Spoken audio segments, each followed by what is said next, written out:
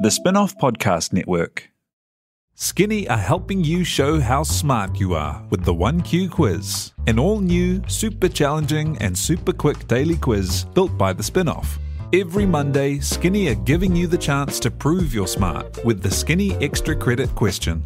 Get it right, and you'll get the chance to score yourself some Skinny Extra mobile credit so you can text, call, or even video call your group chat and gloat about how big your brain is. T's and C's apply. The Fold is brought to you by O Media, making brands unmissable and public spaces better across Aotearoa.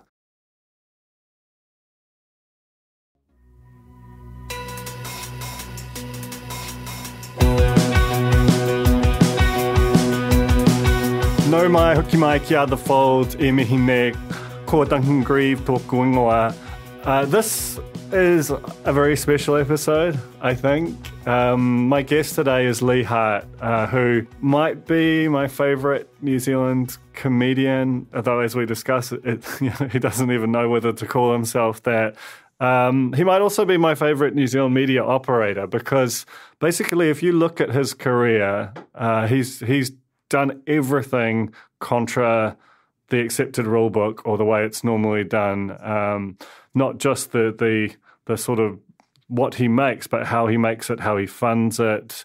The whole the guy's career is a total like bizarro masterclass in in innovation to me, and that's basically what the thesis of this is: is that Leigh Hart, we think of him as just this really odd and funny guy, and he is, but he's also like probably one of the great media innovators uh, this industry has ever known.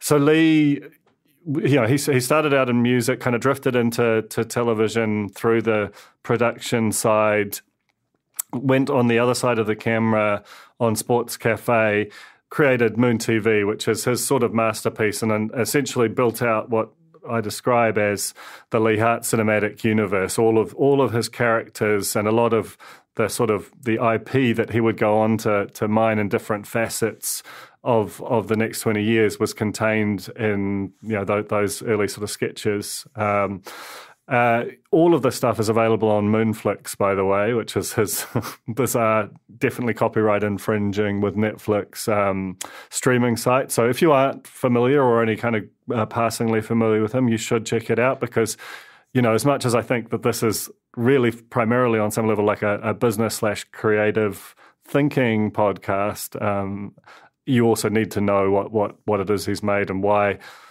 you know, he doesn't have the biggest fan base in New Zealand, but those people who love him are obsessed with him. Um, my cousin Casey, shout out, is, is just an absolute obsessive uh, fan, and and there are just you know thousands and thousands more more like him, which means that you know he, despite breaking all of these rules around you know how television is funded and distributed, and you know the fact that he's gone, you know, he's worked with sponsors, but also created products, you know, in Wakachangi and Snakachangi himself, that uh, you know he's he's he's just built out this this completely um, different, highly original uh, career for himself. So uh, look, I, it's it's it's probably one of, if not the longest episode of of the fold I've done. It's it's a, a lot of fun. I think if you work in any aspect of the media, whether it's creating things, distributing them, selling them, I think that there is there are kind of lessons in the creativity that Leigh has brought to every aspect of what he does that uh, you know people we should pay attention to and we should valorize more to be honest because you know people I don't think really clock him for the true original that he is. Uh, so yeah I think it's it's a lot of fun. This is Leigh Hart on the fold Kia ora, Leigh and uh, welcome to the fold Great to be here. Thanks for having me. Beautiful, beautiful spot you have here. Thank, thank you so much. Yeah. Um. So. I guess I wanted to to start. Try, I mean, I've I've been sort of scrutinizing your career for for a long time. I found it really interesting the way that it's plotted, and I want to kind of dig into that over the course of this interview. But I wonder if you could basically just start with with where your engagement with media began? Like there's some this it's there's a little crumbs everywhere, and there's some sense that it might have come out of like the the music side. Is that well? It's I'd call it without trying to be too much of a pun, almost a comedy of errors.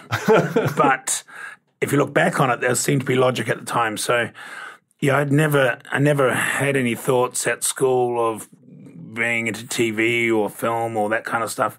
It was definitely more music.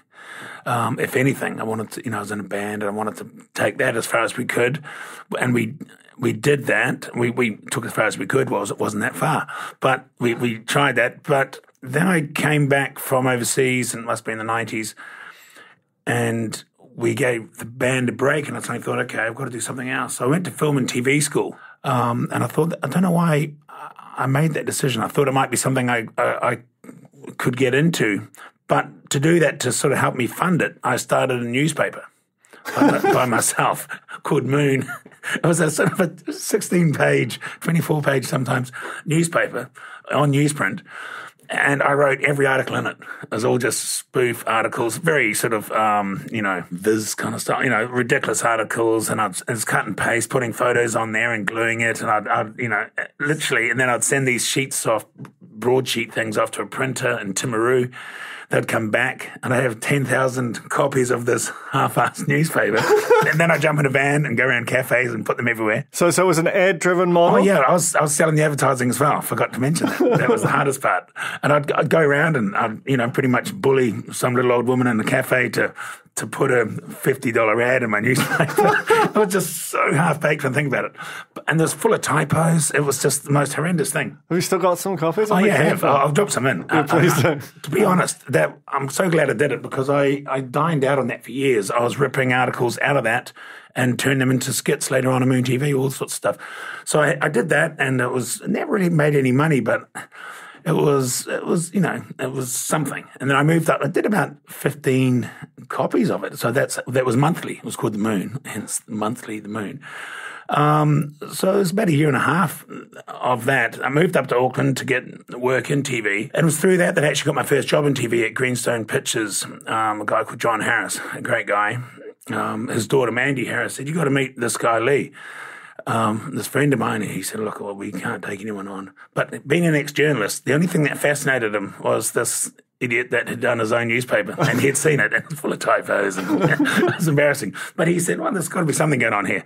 So that, it's an example of just give it a go and, you know, it may not make any money, but making that kind of effort. And God knows uh, where I got the energy from because I don't have it anymore. So you've got to make the most of it when you're young to do that kind of stuff because it will, will, fade.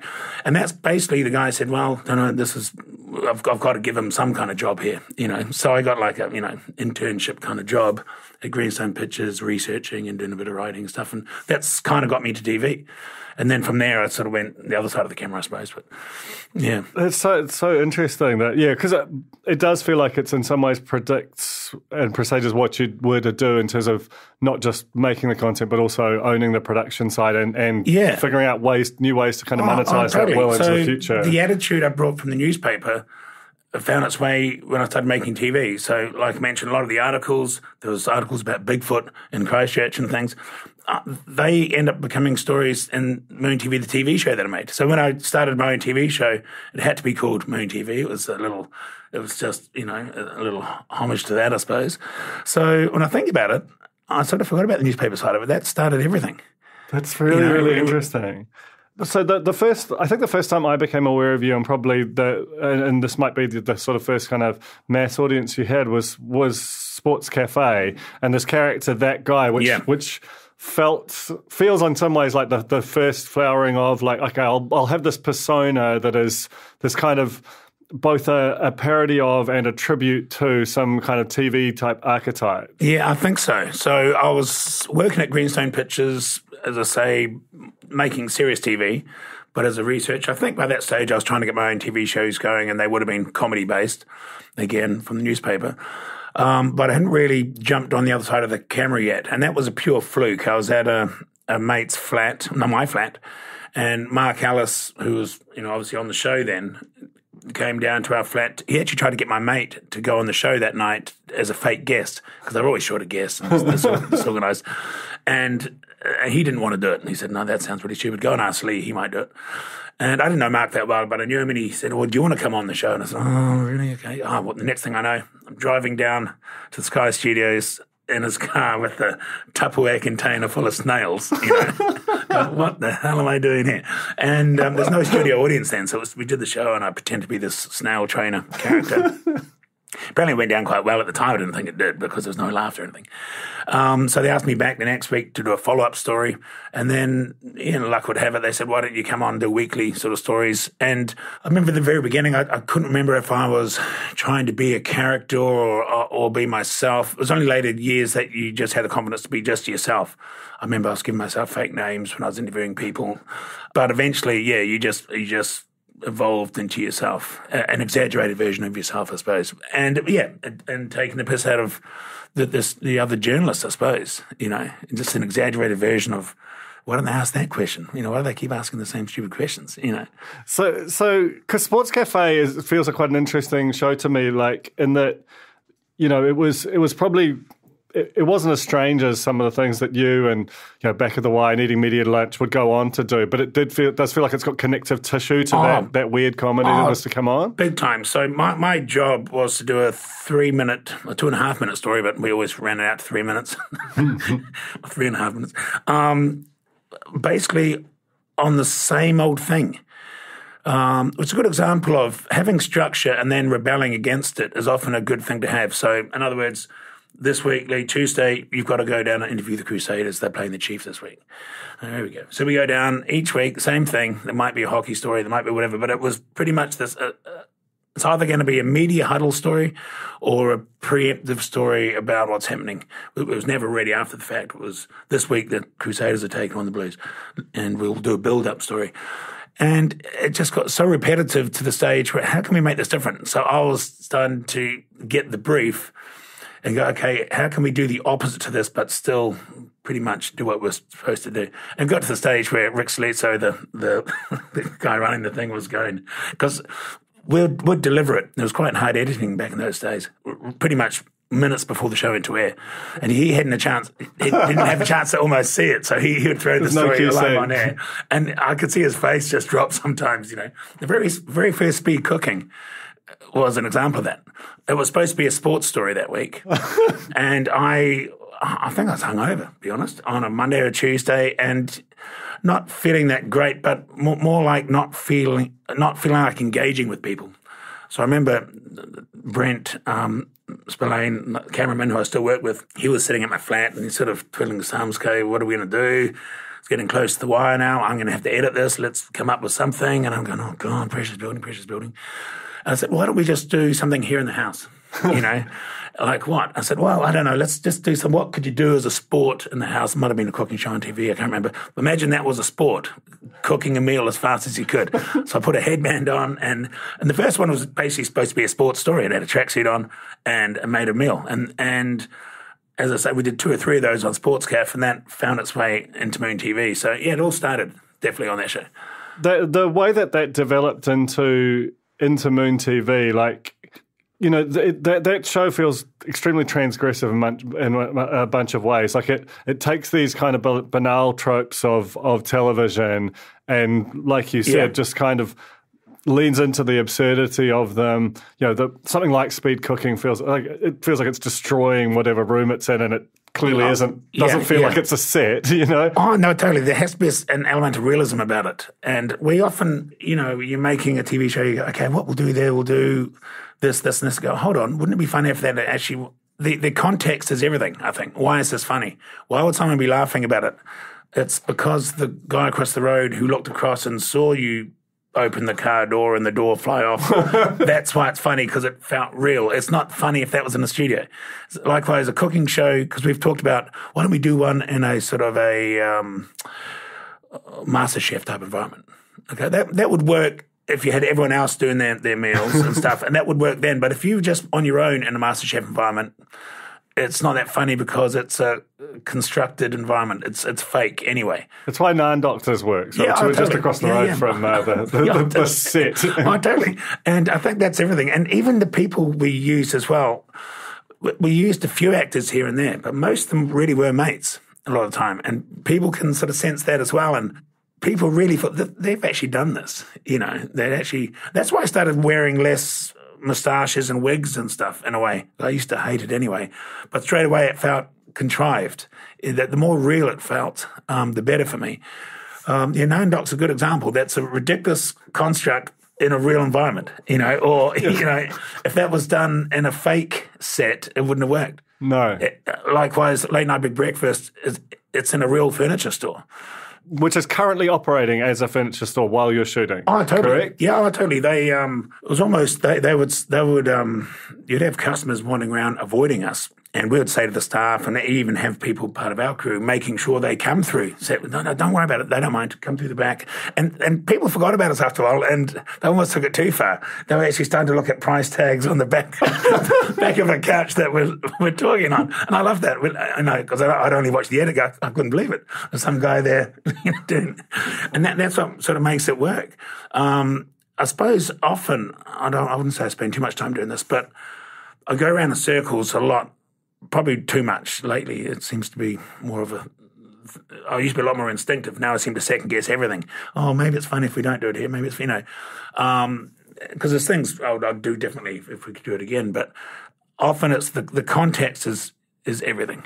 You know the, these were quite, you know, these were sort of strange and transgressive shows. And you can imagine, like, you're going to pitch a show that is basically all about the absurdity of television to people whose main job is commissioning that absurd yeah. television. Like, on some level, it almost feels unimaginable that it even happened. Like, how did you sort of how did it get across? How did you fund it? Well, you know, because yeah, like these these shows are, are very very strange looking back, and you think about that was a much that what you know now we, we live in the a kind of an era of where the internet's exploded everything, but back then hard to get in the well, door. It's interesting. Like I remember in the in the proposals. Um, using the word irreverent about 50 times. I just got sick of it. it's just, it's an irreverent show. In, in other words, it's, you know, but the thing was, and this was a blessing now, at the time it wasn't. Our time slots originally were like 11 o'clock at night, this sort of stuff at TV2, even though it's got, you know, 10, 11. I was struggling to try and get on earlier so more people could see it. But back then, 11 o'clock, there's probably more people watching TV than now at 8 o'clock. Time. Yeah. So and the beauty of that is they didn't really care. As long as I delivered the show, oh yeah, silly old Leigh, you'll just do whatever. And I'd always deliver it on time. But the beauty of that is I ended up owning all the rights and stuff to it because they never really put much money into it. Um, by and large, New Zealand and Air a couple of times I got funded. Um, and I just got again the laziness. I just got sick of doing the dual um, proposal system. You know, you have to go to New Zealand Air, then TVNZ, and it's, it's jumping through hoops basically. But most people don't have a problem with that. Um, so I actually didn't mind going down the sp- sponsorship route model. So, so you were so you were funding these things, not not like TVNZ weren't paying, New Zealand Air weren't paying. You were just figuring out the first to... couple New Zealand Air. No, the first couple I self funded. The first series I made for about six thousand dollars, literally, and I was using a lot of footage I already used on Sportscaf and repatronized it into another show and put some links around it. So little steps. And then I think I got Auto Trader to sponsor the first right. one on Sky. But then I applied for New Zealand Air funding for the first TVNZ show, and we got we got that, and we probably have three or four fundings I think from New Zealand Air.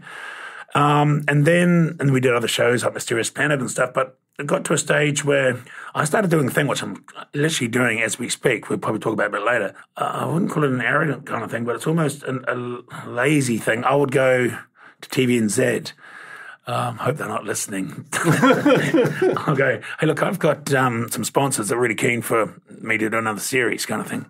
Um, I said, oh, really? That's cool. Yeah, now I could deliver. What time slots could you give me? And they said, oh, we've got, um, we'll give you 9.30, 10 o'clock on Duke and TV2 um, later, in, later in the year. And I go, great, cool and I'll use that. Then I'll go to a sponsor and go, TVNZ have approached me and they want, uh, and, they, and they're looking for sponsors. It's a confidence game. Yeah, totally.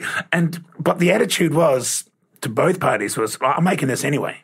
With yeah. or without you. So you might as well come along or don't, because if you don't, someone else will. We're going to make it. And that seems to work. Um, but as I say, you still have to find sponsors, and I'm literally doing that as we speak for current series.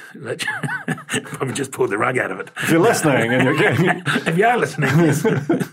um, I mean, what, what's sort of interesting to, to me is, you know, I mean, some some people listening will obviously be for, you know, you know, potentially in the TV industry. Others will have no idea. That this is a deeply unconventional way to go about things. For the yeah. most part, networks either create their own shows, or, or even more often, they'll either buy them from ov- overseas or Yep. if they're a local show, they will be funded by New Zealand on, on Yeah, air. yeah, totally. I always, I, I don't like, I suppose, seeking permission to do something, whether it's TV or otherwise. If you want to do it, you should do it. Um, and if that means using TVNZ sponsorship department to help get money, that's fine. Or, you know, of course you work in with people. But we've, every show we've made, we've always broken the mold of look, I'll look at credits on a TV show and there'll be 30, 40 people on it. Um, we'd have to make up names. If we, we literally have three people working on a show, you know, other than the people you see on the cast. There's I'll write, direct, and um, I suppose you'd have to say produce and be in it. Um, Brent will shoot it with other cameramen and he'll edit it with me. And we'll have some other people on the day if it's that kind of shoot, like the late night big breakfast. There'll be other crew, of course, then. But there's no big list of line producers, this and that, and people you don't even know what they're doing on the show. It just doesn't really, ha- well, it doesn't work that way. So we can do it for less budget anyway and still make the same amount of money without looking cheap, hopefully. Though they did look pretty cheap. but, uh, but that's the charm. It is well, and it, it feels very intentional. The the thing that's interesting to me as well is, is that this is going out on TVNZ, you know, like our, our national network. A lot of the shows that you were parodying were also TVNZ shows, you know, the likes Yeah. of Good Morning and Shortland Street Yep. and so on. Did you, w- I know, inevitably, even though you feel like this rogue agent sort of operating off in the hills, inevitably you do come into contact with those people. How do they tend to respond to? Yeah, I, I think reflected back when we say you're parodying those shows, but it's you're really parodying uh, something larger. It's really a genre, really. Yeah. you know, morning TV sort of thing. Uh, of course, TVNZ has a morning show, but we're not really parodying that. I mean, there's that that genre's been around for for years all overseas. Um, likewise with um, Nine Doctors. It wasn't really Shortland Street, it was just a soap opera. you Yeah, know, yeah. That'd been around forever. Probably the closest we ever came to parodying anything um, was Speedo Cops, and which was you could argue is parod- parodying Motorway Patrol. Yeah. And the funny thing about that, but but I'd argue we were just parodying again reality TV Yeah. because I worked Greenstone Pictures on Motorway Patrol. I actually wrote the proposal that got the show funded Wow. when I was at Greenstone, and I was still working. I was doing Moon TV when I was still at Greenstone, right? And this is how close the two were. We were shooting on um, DV tapes then. Okay, I was actually using the Motorway Patrol. So John Harris, he knew I had no budget. He said, "You can use these secondhand DV tapes that we've shot Motorway Patrol on, because they would only use one pass on them. We'd use two or three, you know, because they had a budget. They wouldn't use them again. Um, so I was shooting." The parody, I suppose, of Motorway Patrol, Speedo Cops, on the same tapes that actually shot the original series.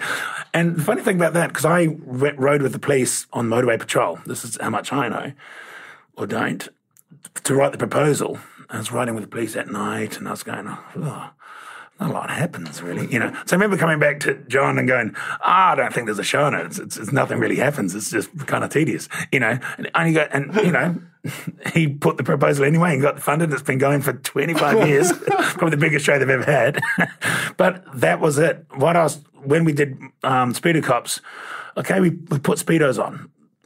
But you're not supposed to notice that. We don't really reference Yeah, it. That- the only, the, that's, the just- only odd thing about That's the only odd thing about it. Everything else for parodying is the fact that it's the voiceover really. Nothing really happens. But then drama. He can't open the door, you know, but then drama. You know, it, it's, you just keep saying that all the time and you get a TV show out of it after the break. Then drama. You know, it's just, we just, and that's all we were doing. And I found reality TV was that.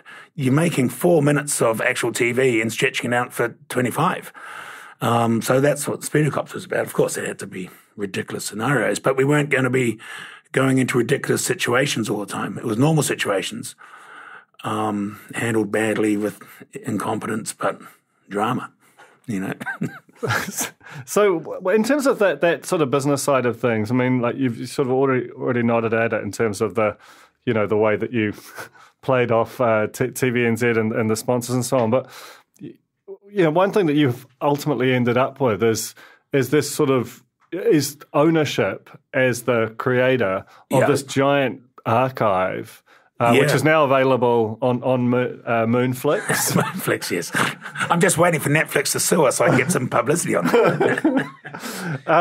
you know, like, uh, and and you know, I sort like I remember with the with the the lockdown specials, which was Yes. you know, I, I really really enjoyed. Like that was just basically again, it was like a clip show with with some links. Like, you know what?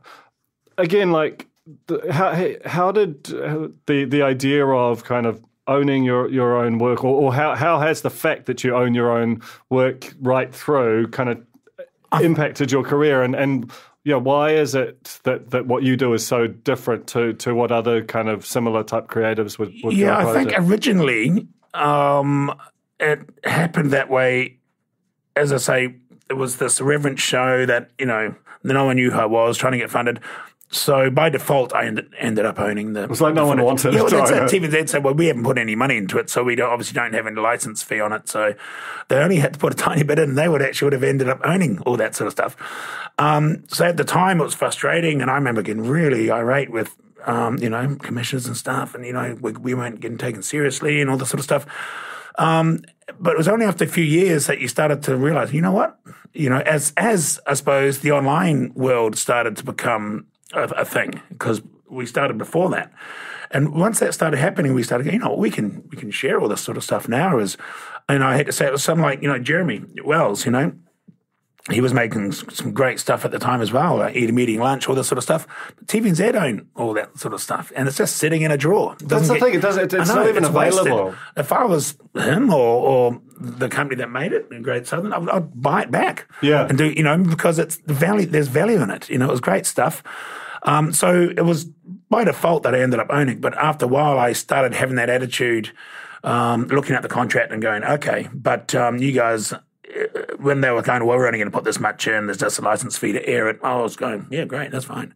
I'll find the money elsewhere, knowing full well that I would end up owning it. Um, you know, and that means not just for online, you can sell it to overseas. You know, I ended up putting Moon stuff on TV3 at one point. You know, that was was on TV2 originally. Yeah, because you've also like there's a lot of your clips on YouTube which which Yeah. perform really well. Do you monetize on that platform? Well, that's it's hard because you, you try to. Um, I've got to be honest. You know, I'm just contradict myself. You know, owning it's all very well and good, but it's still it's very hard to monetize it because other people are just putting it out there anyway. I mean, there's other people who put the same clip up that I have, and they've got more views than the version I put up.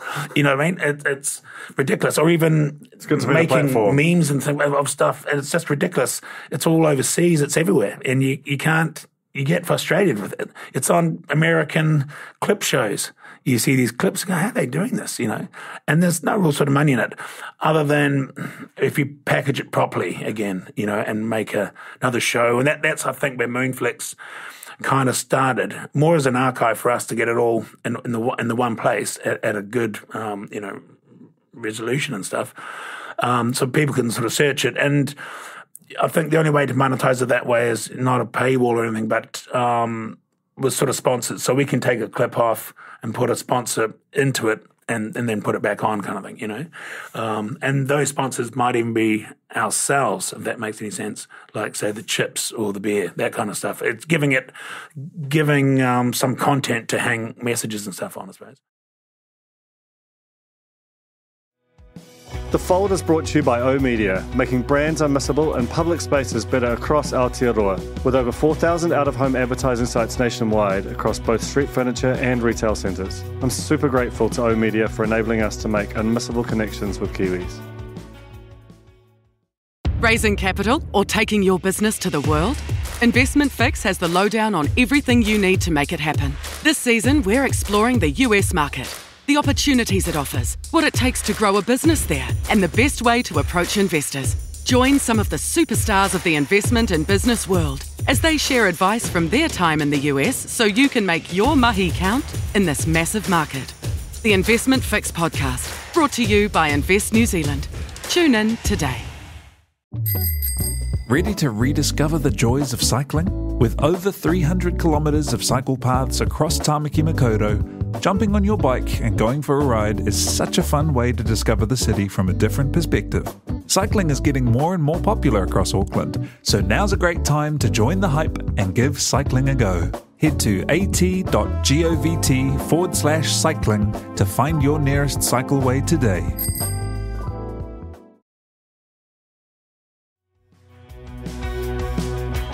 Yeah, because I, I mean that's that's a good segue into talking about the the that because you initially you know was I, I, don't know what your first engagement was, but I certainly the Hellers one has become the sort of iconic uh, Leigh Hart thing, Yep. which is is just normal enough to sell a sausage, but also still very much you doing your thing. Yeah, yeah. That they that was an agency approached me. So the hell is a different model than everything else because I'm literally their spokesperson. Yeah, Um, you know, I get paid to do that, which is great, and I, I believe in the brands, and everything. So it, it's good. And and originally, I had no real sort of you know say in the content of the ads or anything. I'm just basically I show up and, and do that.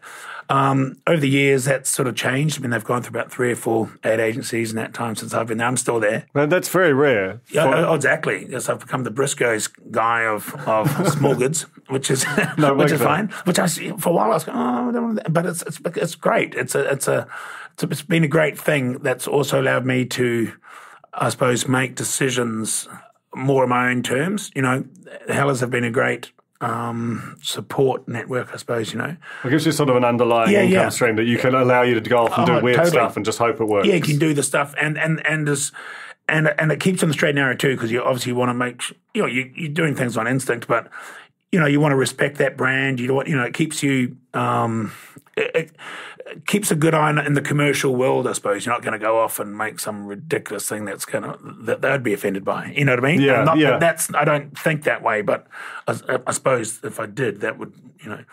Um, so that was great, and often I've I can our production company often makes a lot of that content, especially with the online stuff now. So that that's another another part of it. So that's a, like almost a business on the side, mm. And it's ongoing, and it's had a great. Uh, they're quite a big company now, but they still feel like a family, you know, to deal with. So.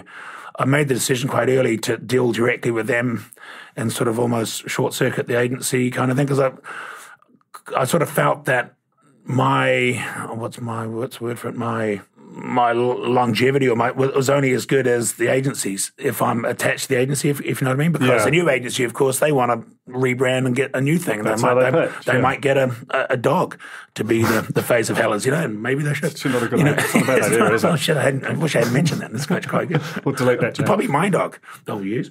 Um, but what I mean is having a direct thing with them, I feel you can communicate the message better. You know what they're thinking and get it across. Be more on brand, I suppose, you know.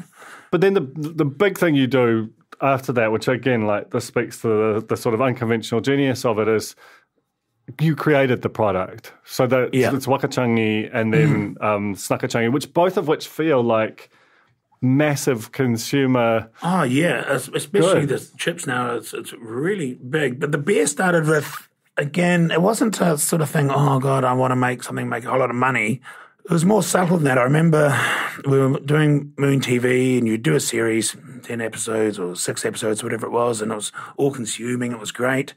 And you get a few reviews in the paper, and you know, even you guys were doing it's great, and you feel really cool about yourself. But then two weeks later, it's done. Everyone's, you know, everyone's talking about something else, and you got another six months before you do another show, and you start the funding thing again. It seemed to be like, but meanwhile, the Wellington Sevens would be on, and everyone's dressed up as Moon TV characters, a Hamster Man and Speedo Cops and stuff. And you go, that's not weird. Is there any way of trying to capitalize on that goodwill, I suppose? Not not so much financially, but to trying to keep the story going. Yeah. You know, um, and all I could think of was perhaps a, brand. You know, it might have been T-shirts or something I could have thought of. But for some reason, I, we were sitting in the office. I thought I might start a beer brand. There's two people in the office, and they went, "Oh, really? Okay." And um, so I just literally, I'm quite impulsive. And they said, "Oh, you should think about that a bit more and maybe come up with a really cool brand." I said, "Oh, let's just feel the market first. So I just did a Facebook post said, "Think of starting a beer brand. Might call it Wakachangi," you know, because that was a, a word we had from a sports cafe story about the Waikato River. And back then, of course, I suppose Facebook was kind of bigger than it was. There was just thousands of comments and stuff to the point where, oh shit, we've got to do it now. So next thing I'm on the phone, ringing up breweries, oh, can you make beer really quick um, in time for the orientation, which is in four weeks? And there's a brewery in Christchurch, and they said, yeah, yeah, we can do it. We'll just repatriate another beer and get some labels made up. And that's kind of what we did. And that worked really well. And all of a sudden, you felt it, it was on brand with everything, with everything Yeah, else. because even the copy that's on that and on the chips as well, you know, feels yeah. on some level like it goes back Oh, to, totally. the, to the to the newspaper. Yeah, oh, exactly right. At full circle, it was the same gibberish, the same style of writing that was from the newspaper would be on the on the back of the label. Um, so nothing's changed really in that sense. That's the that's the essence of it. Is that language really? I think from the newspaper. Yeah, I've never. There you go. I've never thought about that before. and and that those things have kind of grown, and, and like you say, that basically has become these these consumer products that can be the sponsor of a, of any unsold inventory across, you know, your, your moonflicks and but so you've on. got to be careful of that too because you don't want to get what's the word for it? I'm too clever. I, I think that let's take the chips for example. So the chips morphed out of the beer. That's pretty obvious. Again through frustration because the the beer was going well, but we were waiting for a, a canning line to be built at the brewery, and it was all getting a bit oh, and and just sort of twiddling your, your thumbs a bit. Hmm. We, there's no real new story we could bring out. And on some level, you were licensing the brand to Harrington's. Oh, no, no, otherwise- by this stage, the beer had changed. So McCashin's Brewery in Nelson, they Oh, yeah. came on board as half partner, like an ownership. Right, And, and because someone you, you don't necessarily want to be actually like down there mashing hops and well, dealing with distributors and well, so on. In the very beginning, that's what we were doing. I was, you know, I was trying to make a TV show, and, and then we're chasing up a lost pallet down in Oamaru, you know. So there's the, Katie, who was working, she came on as a, a producer on the show. she was chasing up broken bottles down here. And I was saying, look, don't worry about it. It's all TV. It's all the same stuff, you know. she said, this is not what I signed up for, you know. And it was a great experience for us all. But we could. Uh, then I shut it down actually because we weren't losing money, but it got to this, it got a little bit dangerous because once we had a barcode, supermarkets could pretty much order that in, and we were getting beer in you know supermarkets in Northland, and then getting invoices for displays and that they've done in the supermarket, and uh, we had no budget for anything, you know, so I sort of shut it down without losing a cent. And then about a year later, McCashins got in touch and said, well, "Should we start it up again?" And they came on as half owner, and they were like, "Yep, the brewer, the distributor." Took care of all the the hard part, and I just did the marketing, I suppose. Um, and that was great. And as I say, we got to a stage where you could we were making ads and, and messages, but um, you couldn't just keep saying, "Hey, drink Wakachangi, it's great." You know, we, we'd almost maxed where we're going to get to. Um, so I thought, shit, why not do um, chips? Uh, I think it was nuts originally. I was thinking, but then sort of chips. But um, approached Griffins to do that, and this is where I suppose I have to take some credit. I think for uh, it, when you're uh, you know a quasi comedian, I suppose. Um, which is subjective in itself. People to talk about that actually. people assume, oh yeah, cool, yeah, all right, we'll do the chips. What are they going to be? They're going to be Marmite and Jello flavor, what you know, because it's going to be wacky. Because Yeah. your, your your shows are wacky. But hold on, the shows are actually within a format. We're we're we're just putting a twist on a reality TV show. We're just putting a twist on a breakfast show. It's still what it is. Yeah. I said no. I said, well, what are your top selling flavors? They said, well, salt and vinegar, salted chicken. Well, let's do those. You know, that makes sense. That yeah. you know, don't worry about the wacky stuff. We'll take That care of that. the packet. Yeah, that that'll be just a twist. We'll call it vinegar and salt instead of salt and vinegar. You know, or whatever, chicken with a typo in it. um, but it's still chicken because that's what people are going to eat. Yeah. So it's that old thing where you get you might as well have a small share of a big market than a big share of a tiny market kind of thing. Um, so that's kind of what we did. And it's weird that it was it was me that directed it that way as opposed to, to the the corporate brains Yeah. at the other end, if you know what I mean.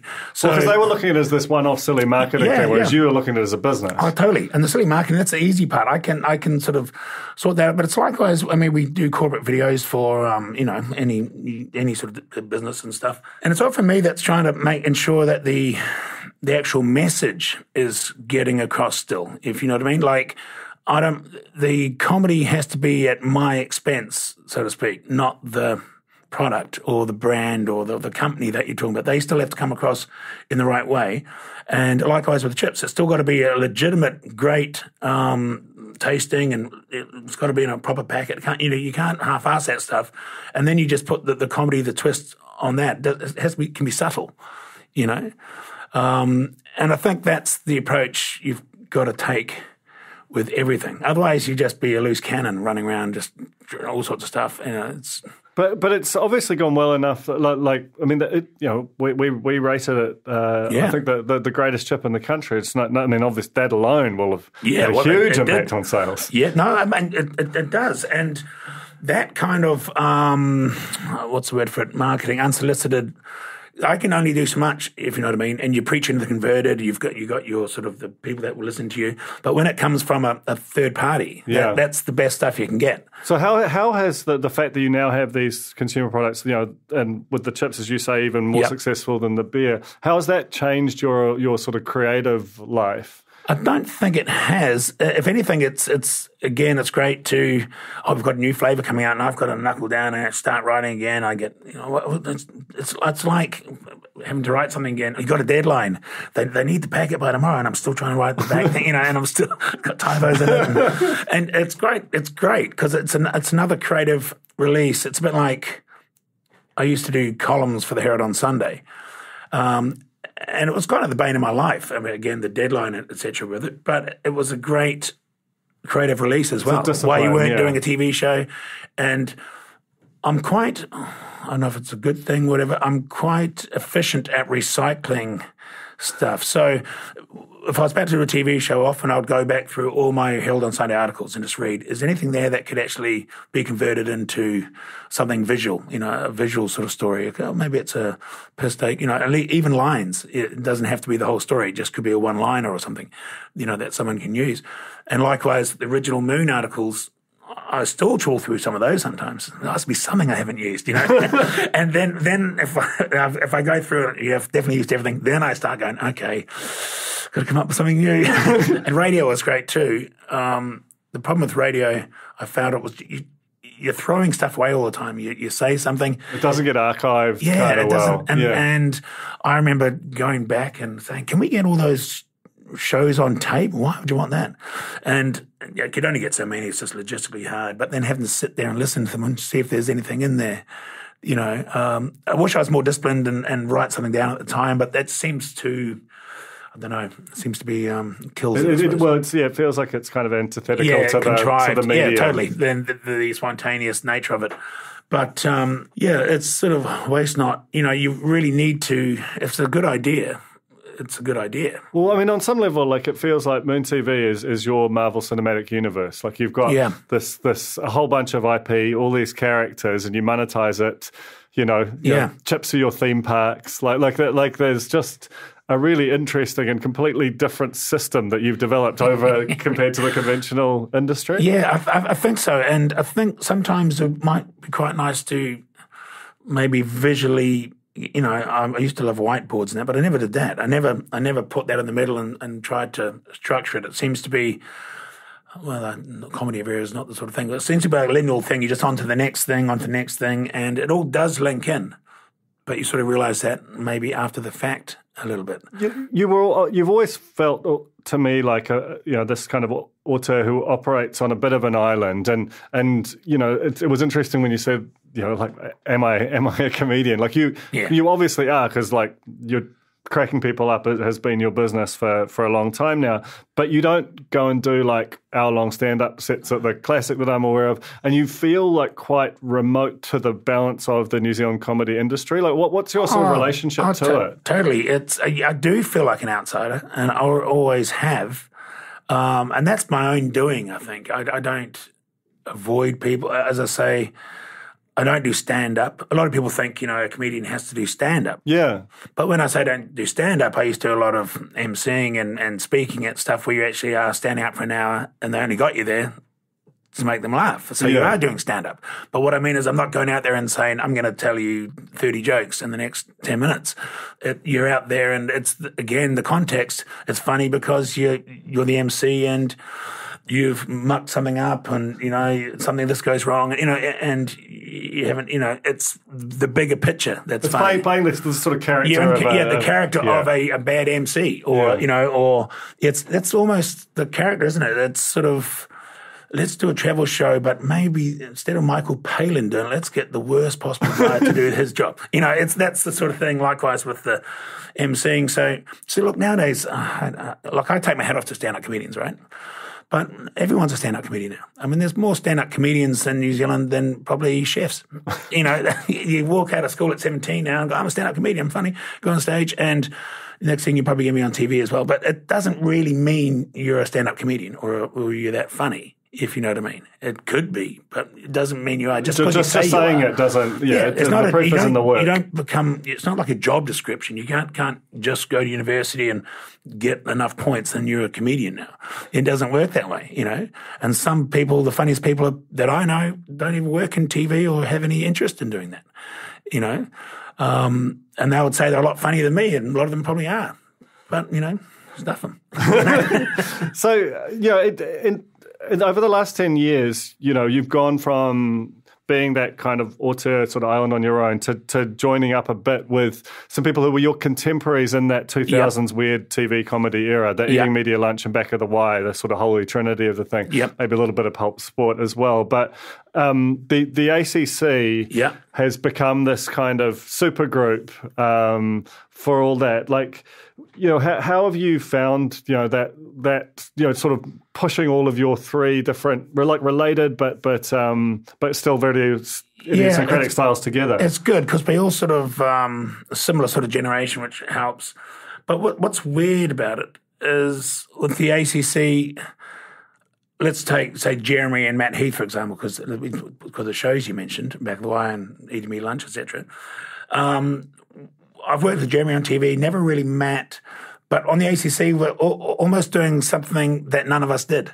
So none of us are trying Yeah. to be. None of us are trying to be. Oh, it's my style of show, or it's it's more like this. We're not making a TV show together because I don't know if that would work. Who knows? Well, obviously, we've worked with Jeremy, but um, we're doing something totally different. It's just more like a like-minded friends kind of thing, and there's no, we're not, no one feels threatened or anything. We're just having fun and, and having a bit of a laugh, you know, and uh, it's great.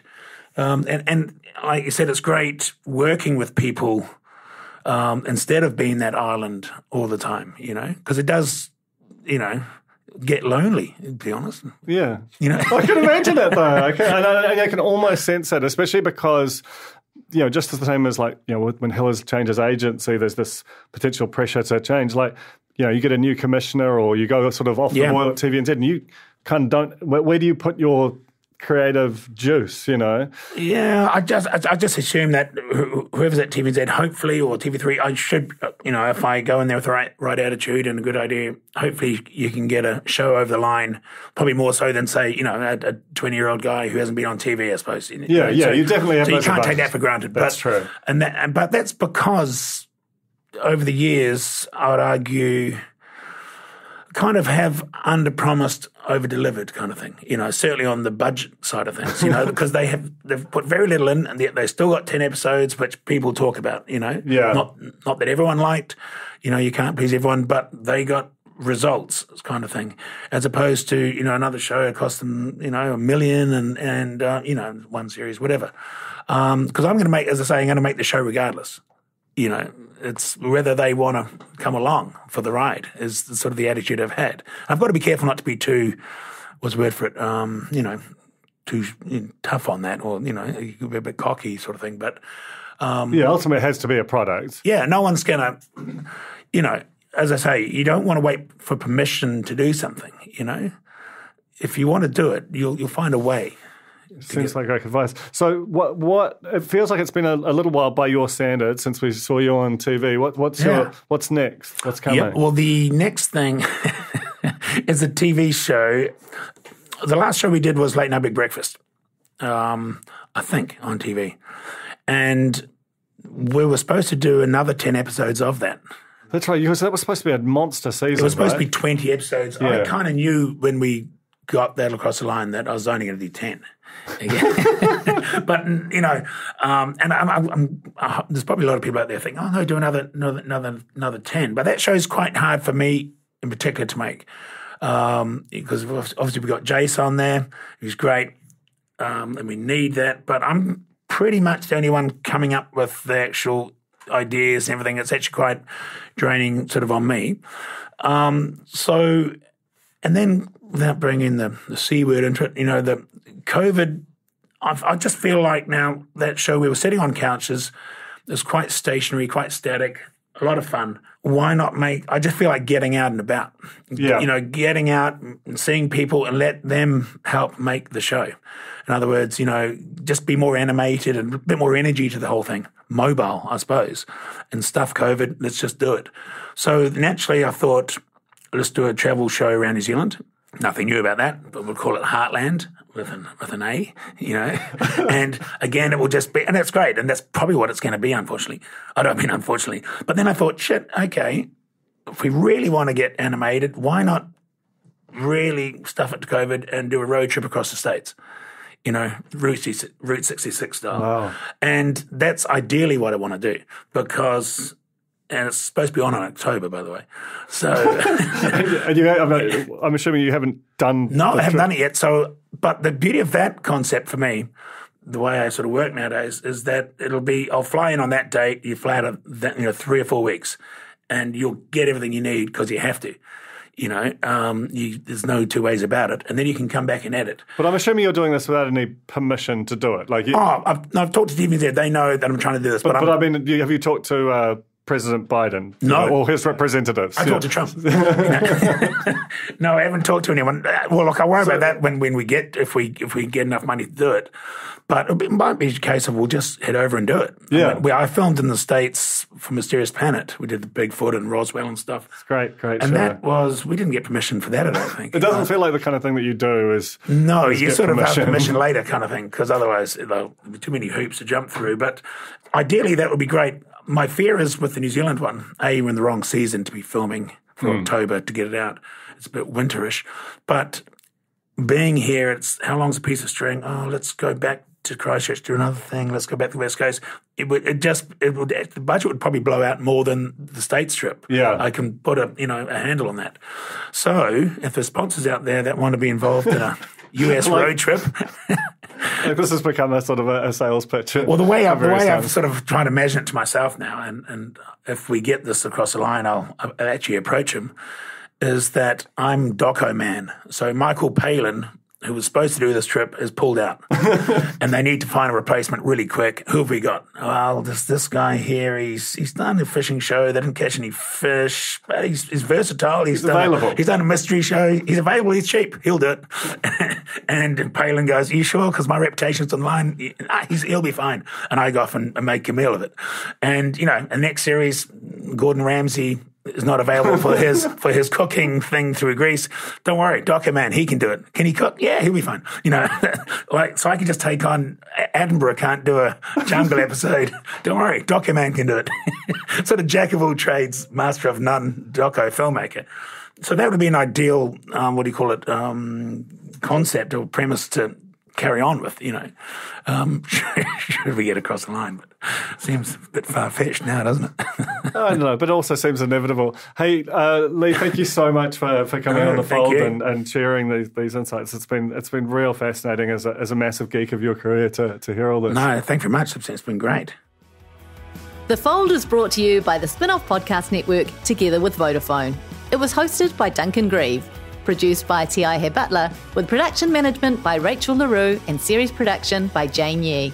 To find out how Vodafone can help you reach your personal and business potential, visit vodafone.co.nz.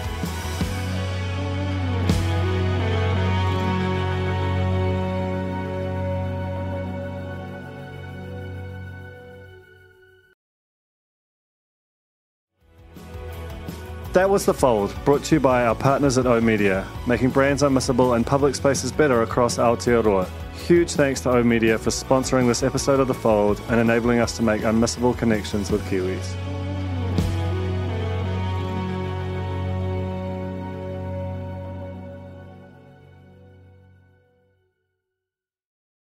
K-pop to me means more than just listening to music. It's learning to be myself. The spin off's new documentary, K Pollies, follows three Pacific youth obsessed with K pop. In a one off documentary, see what they've found in Korean pop culture and how they bridge it with their own. when you start dressing, looking different, everyone side eyes you. But in K pop, they're just like, no, like celebrate yourself. Watch K-Pollies today at thespinoff.co.nz slash videos. Made with the support of New Zealand On Air. The Spinoff Podcast Network.